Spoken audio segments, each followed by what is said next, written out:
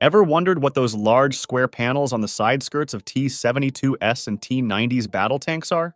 Ever notice those small boxes all over the turret of the T-72 Ajeya? Those are explosive reactive armor, or commonly known as ERA. Yeah, you heard it right, those are explosives. Now you must be wondering why would someone mount explosives on the body of tanks unless one has the intention to blow it up? How can some explosives act as armor? We will answer all these questions in this episode. Explosive reactive armor is a type of armor that is used in modern tanks and other armored vehicles to protect them from projectiles that employ shaped charged warheads. An ERA is extremely effective on heat and HESH rounds. It also protects the vehicle from APFSDS rounds up to some extent. However, some APFSDS rounds with tungsten or depleted uranium cores are able to penetrate most of the modern ERAs. Explosive reactive armor is a peculiar type of armor that uses explosive charges to defend from other explosives which are fired at it.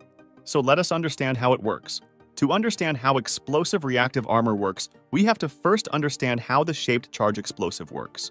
The heat rounds usually use the shaped charge principle. The most common threat to armored vehicles is the RPG. These RPGs work on the shaped charge principle. The shaped charge warhead consists of a conical cavity with a metal disc. When the warhead explodes, a jet of molten metal, usually copper, at very high temperatures is generated which penetrates the armor. The jet melts the armor and pierces it just as a knife cuts through butter. This jet of extremely hot metal often kills the crew. If the crew is lucky enough to survive, the jet can also hit ammunition and fuel to blow up the entire turret. So how do the modern tanks defend themselves from these warheads? Most of the well-protected tanks like the British Challenger, American Abrams, German Leopard, and Indian Arjun use composite armors made of high-strength materials like depleted uranium. Often these armors are covered by explosive reactive armors to complement the armor's protection. So now let us understand how the explosive armor works. A typical explosive reactive armor consists of plastic explosives like C4 sandwiched between two metal plates. These are mounted on the top of the regular tank armor. When the warhead hits the upper plate, it ignites the explosive. The shockwave created by the explosion scatters the molten metal jet away. The upper plate flies in the outward direction and thus helps in scattering the molten metal jet. The ERAs are often mounted on the areas which are most likely to hit, like the front part of the hull, the entire turret, side skirts covering the tracks, etc. ERAs are extremely useful in urban warfare, where the RPGs and other anti-tank missiles carried by the infantry soldiers pose a maximum threat to the tanks. So the explosive reactive armor is explosive mounted on the tank's body. But why doesn't it damages the tank?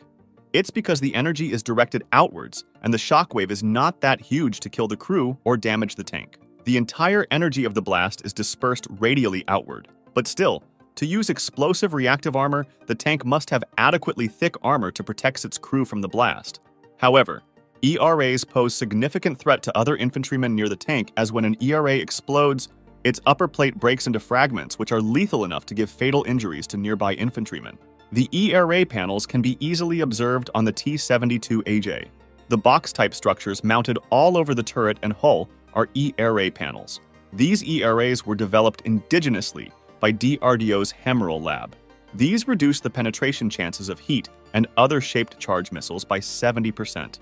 These are also immune to detonation by small arms fire. The MKI version is used on over 1400 T-72S.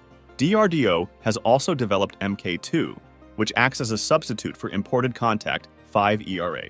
The large square panels on the side skirts of T90 and the tapered structures on the turret are also ERA panels. T90 uses advanced Kontakt-5 ERA. The technology of Kontakt-5 was transferred to DRDO under the transfer of technology.